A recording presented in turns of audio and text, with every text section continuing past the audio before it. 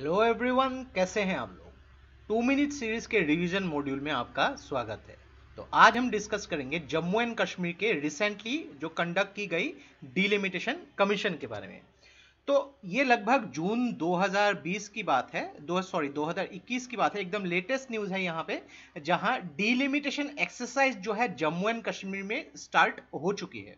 तो अगर आप देखेंगे कि 2019 जो है लगभग अगस्त के महीने में जब आर्टिकल 370 हटा देने के बाद जम्मू एंड कश्मीर जो एक स्टेट था, उसको दो अलग अलग union territory, Jammu and Kashmir और लद्दाख में तोड़ दिया गया था। तो उससे पहले जो है, जम्मू कश्मीर 2018 से जो है, सेंटर के रूल के अंदर जो है, यहाँ पे गवर्न हो रही थी। तो देखिए, यहाँ पे डिलिमिटेशन ये एक ऐसी प्रोसेस है, जहाँ पे अलग अलग जो टेरिटोरियल कॉन्स्टिट्यूएंसीज है, चाहे वो असेंबली के लिए हो या फिर लोकसभा सीट के लिए, उसको फिर से रीड्रॉ की जाती है एक लेजिस्लेटिव बॉडी एज पर इलेक्शन कमीशन तो देखिए, इसको इस तरीके से समझते हैं कि मान लीजिए कि ये एक स्टेट है, एक जगह है, यहाँ पे अलग अलग जो टेरिटोरियल कॉन्स्टिट्यूएंसीज थी यहाँ पे तो इसके हिसाब से यहाँ पे जो है इलेक्शन कंडक्ट होती थी। अभी यहाँ पे जो है, हर टाइम के बाद क्या हो जाता है कि एक पर्टिकुलर पॉइंट में, एक पर्टिकुलर यहाँ पे पार्टी या फिर एक जो पॉलिटिकल पार्टी की दबदबा हो जाती है और इस पार्टी इस जगह पे कंपलसरी जीतती ही जीतती है। तो यहाँ पे क्या हो जाता है कि ये टेरिटोरियल कॉन्स्टिट्यूंसीज को रीड्रॉ की जाती है अलग अलग दो से तीन कॉन्स्टिट्यूंसीज को यहाँ पे मर्ज करके या फिर अलग अलग तरीके से इनकी साइज़ या फिर जगह को चेंज कर दिया जाता है। ताकि जो डेमोक्रेसी के लिए यहाँ पे सही बात हो। तो डीलिमिटेशन ये एक्सरसाइज जिसके थ्रू कंडक्ट किया जाता है, एक इंडिपेंडेंट हाई पावर्ड पैनल होती है, जिसका नाम होती है डीलिमिटेशन कमीशन और डीलिमिटेशन कमीशन की जो ऑर्डर होती है, ये कहीं पे भी किसी कोर्ट में क्वेश्चन नहीं किया जा सकता है। तो यहाँ पे देखिए कि ये एक्सरसाइज जो की जाती है, हर जो सेंसस के बाद on the basis of population के हिसाब से जो है ये कंडक्ट होती है।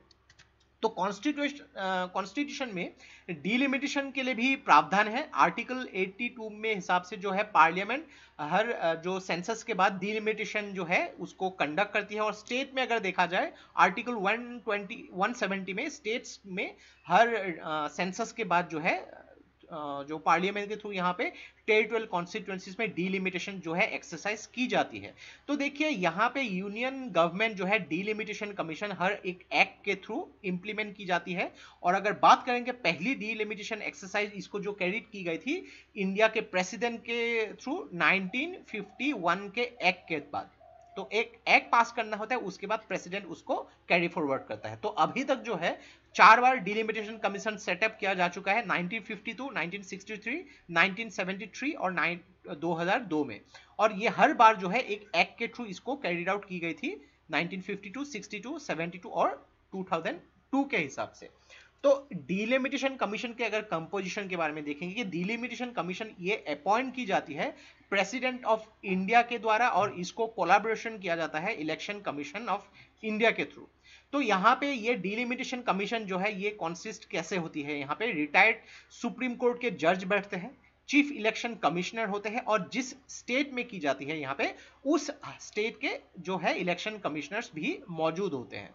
तो जम्मू एंड कश्मीर में इससे पहले जो इलेक्शन जो डिलिमिटेशन कमीशन कंडक्ट किया जाता था तो लोकसभा में जब किया जाता था तो यहाँ पे इंडिया की गवर्नमेंट के द्वारा की जाती थी। लेकिन अगर देखा जाए इससे पहले जम्मू एंड कश्मीर में बिकॉज़ उन लोग की खुद की कॉन्स्टिट्यूशन थी तो असेंबली के लिए यहाँ पे अगर डिलिमिटेशन करना था तो जम्मू कश्मीर के खुद के कॉन्स्टिट्यूशन कॉन्स्टिट्यूशन और Jammu and Kashmir representation of people act 1957 के थ्रू तो बहुत ही इंपॉर्टेंट ये टॉपिक है। आशा करते हैं इससे आपको बहुत कुछ चीज़ें सीखने को मिला होगा। और ये वीडियो अगर आप लोग को अच्छा लगे इसको प्लीज़ लाइक कीजिए सब्सक्राइब कीजिए उसको शेयर कर दीजिए। तो आज के लिए बस इतना ही।